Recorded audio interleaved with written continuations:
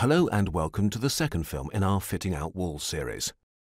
In it, we deal with the most common forms of wall finish. A building fit-out covers two areas, the non-load-bearing structure and building services. Walls that form part of the non-load-bearing structure are divided into partition walls, wall finishes, and doors and windows. The term wall finishes comes from German standard DIN 276, which deals with building construction costs. It classifies exterior walls in cost group 330 and interior walls in cost group 340. Somewhat awkwardly, exterior wall finishes internal are to be found in cost group 336, while interior wall finishes are located in cost group 345. In both cases, the term refers to plaster, render, waterproofing, insulating and protective layers, that is to say anything that can be applied to a wall in layers. Like floors and ceilings, walls can be finished using both wet and dry techniques. On the left here, you can see the application of a thin layer of wet spray plaster, on the right, the dry fitting of timber cladding. The disadvantage of wet finishing techniques is that they require time to dry. Dry techniques, on the other hand, do not provide a joint-free wall finish. As with floors and ceilings, a distinction is made between finishes that are bonded to the substrate and those that are decoupled from it. Here in the Leipzig Municipal Environment and Waste Department, the wall tiles are applied directly to the block wall. In the photograph on the right, the pipework, which is surface mounted on the left-hand picture, is installed between the wall and its finish. It's only possible to conceal the pipes in this manner because there is a gap between the facing skin and the wall. The distinction between sound-absorbing and sound-reflecting surfaces is another factor that is also important in relation to walls.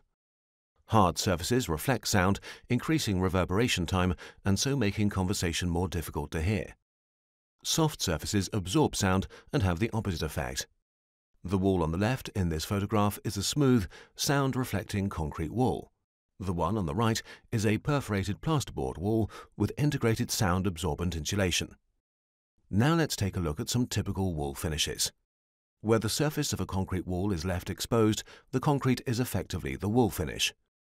The photograph shows an exposed concrete wall with a regular pattern of formwork panel joints and anchors. Where shell walls are not intended to remain exposed, a 1 to 2 mm thick coat of bonding or a 1.5 to 3 cm thick layer of plaster is applied, producing a uniform, joint-free finish to take the final coat of paint. In our sports hall at Copy School in Berlin, this type of finish provided the substrate for a public art project. A plasterboard wall installed to cover the shell wall structure and conceal service cables and pipes, for example, is known as a plasterboard facing. The interior surface of such walls is painted. In wet rooms, for example, this coat of paint may be replaced by tiles. The wall tiles in this shower are laid on a reinforced concrete wall on the left-hand side of the cubicle and on a plasterboard facing on the rear wall and to the right. In both cases, the substrate is backed with a waterproof wall sealer or membrane. Walls can also be finished in a higher quality material such as veneered wood particle board, for example. In order to compensate for tolerances in the shell construction and to ensure that the boards are fitted accurately using narrow joints, the wall is decoupled from the facing using a system of battens and counterbattens or spacers. Walls can be clad using metal panels in much the same manner as with wood composite board. When using both wood and metal, it's a common practice to fit perforated cladding and to integrate sound-absorbing insulation into the design.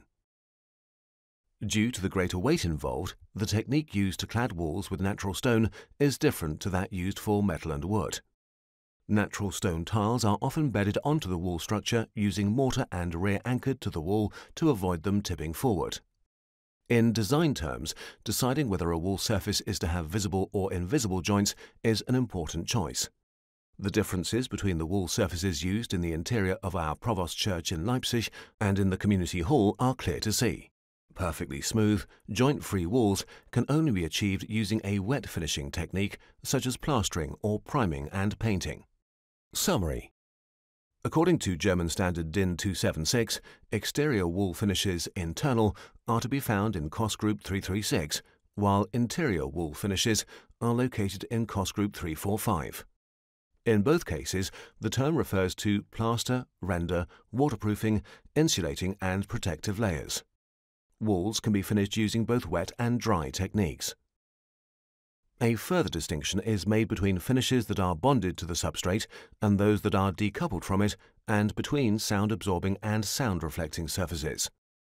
Walls can be finished using bonding, plaster, tiles, metal panels, or wood composite boards. A plasterboard facing can be fitted to conceal service cables and pipes, for example. Our Fitting Out Walls series continues with film number three, in which we consider what to look out for when designing interior doors.